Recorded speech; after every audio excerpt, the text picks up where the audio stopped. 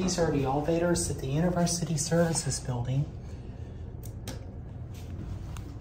at the University of Arizona in Tucson, Arizona.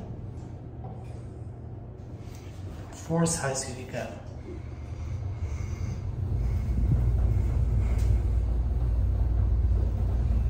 These are northern elevators. Here at four.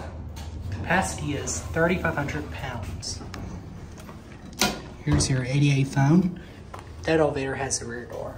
Let's get a cab view. Down to Chiland there.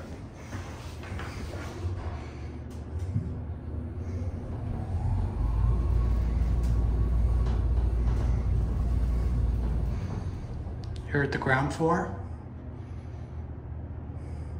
Button goes out. That'll be it.